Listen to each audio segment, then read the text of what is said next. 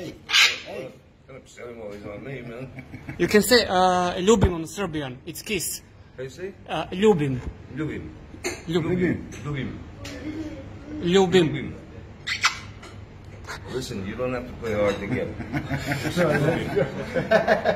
Ljubim. After work tomorrow, if you give me stitches, though, I'll give you a hundred Be dollars. careful. Lubin. Jebiga.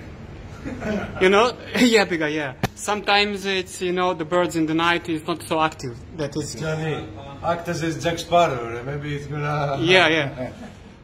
Ah, you might recognize that. yeah, How do you say again? yeah. Ljubim. What he said.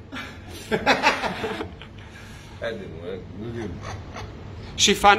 When you laugh, she laughs too. You thought that was funny, did you? Did you? Oi, Ljubim.